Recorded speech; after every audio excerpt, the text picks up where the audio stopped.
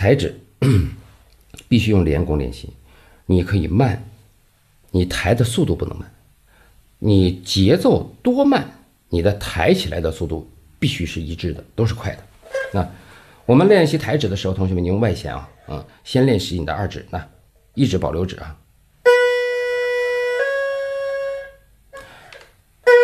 抬得快，落得快。我在这跟大家说个小窍门，我刚才拉的这个是 D 调的外弦的拉西拉西一指二指是吧？这两个音的交替，你看这个拉这个一指拉是怎么出来的？仔细看啊，我现在二指是在琴弦上的，你看着啊，是我二指二指抬得快，所以拉出来的它才干脆。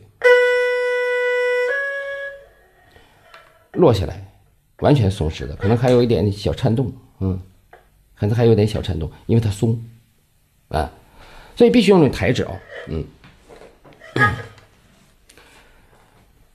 我们现在讲音阶的话呢，有两种不同的演奏方式：上行音阶和下行音阶。乐理课呢，我们会有。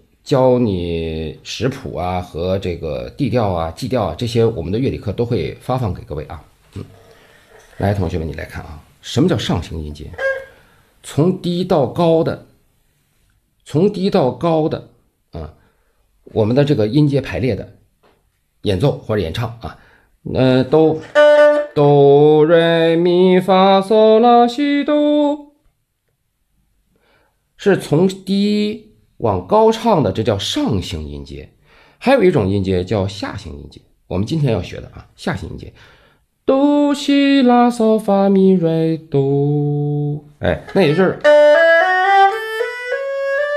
然后啊，这上行和下行不一样，运动不一样。仔细看，上行音阶是以抬指，在你。演奏哆的时候，你就要准备抬二指。下面这个比较复杂，二指落的同时触碰到这个音的时候，是你的几个手指，四个手指同时触到这个音，然后赶紧抬起你的二三四指，因为你准备下一个音是咪，对不对？那我们来看啊，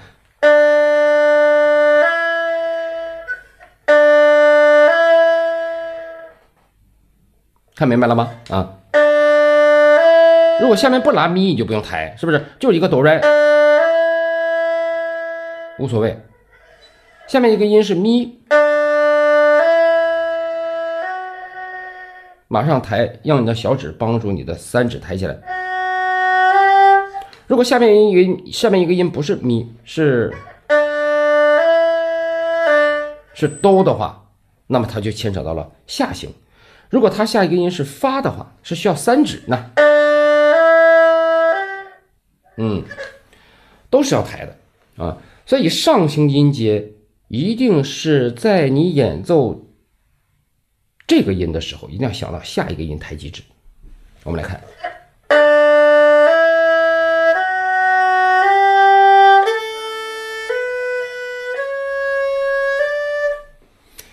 你每动一下之前都需要抬指，这是上行音阶。下行音阶你来看，抬指更重要。我们现在下行音阶是从哪儿排练呢？是从这个 D 调的外弦三指的一个点儿的高音哆，一直到里弦空弦的没有点儿的正常的一个哆啊。好了，我现在要给大家看到的是，起码你的二指和你的三指是同时在琴弦上的，这叫保留指。二指你必须要在琴弦上，你。哆出来之后，下一个音是西，就是三指是哆，二指是西，对吧？哆西是你需要抬二指，快抬二指，你千万别在这儿啊！哆，你像这样，那有很多人都是这样落空弦或者是手指，你看你有这样的，那就完了，那就不是保留指，必须保留指啊啊！二指保留在心上，然后你看你三指。快速移开，你越快，你看你听没听到？我都没有去触碰它，就是因为抬得快，所以它都有颗粒性。嗯，嗯，然后一指上，这些没有关系，但是你发上了二指，赶紧上啊！可以后上，也可以同时上，但同时上我觉得还是不不太舒服。那个，比如你看我啊，大家仔细看我的二指的啊，看到了吗？我是这个音出来之后，我再上下一个手指，然后赶紧抬它啊，梆啊，再抬起来就懂了，是吧？同学们，我现在讲的这个抬指，这是运动的除了你的上行，还有你的下行音阶的一个结合，它所有的运动都是以抬为主。但是抬的方式还是多多少少有点区别。如果你听到了一些你自己的感受，或者自己的一些嗯，哎，老师说的这个我我我听明白了啊，我我我我总结一下，或者是怎么样？希望同学们可以跟我们的呃售后服务团队的我们的同事们来沟通交流，好吗？跟我们的老师来交流。嗯，接下来左手还有一个尺子，还有一个尺子，左手食指第三个尺子啊，嗯，第三个尺子。左手食指长度的四分之一，就是你的千斤宽度，就你的琴弦到琴杆之间的这个距离，嗯，这是你我手指长度是七公分吗？除以四，哎，这就是你的千斤宽度，哎，未来手指触弦的时候，它是一个自然弯曲的，等到以后讲揉弦啊，同学们你就知道了，太可怕了。现在社会教学全都是错误的，不能说百分百，但我告诉你，基本上都是有问题的。因为有的有的人让你指肚出弦，然后让你揉弦向上动；有的人让你指尖触弦，让你揉弦向下动。你这哪有空间呀？关键是未来像揉弦这样的东西，它会从我们的这个千斤宽度，你手指触弦点会延伸出来。手指触弦点指尖指肚中间肉后的这个部分，触到琴弦时之后呢，这个声音是集中的。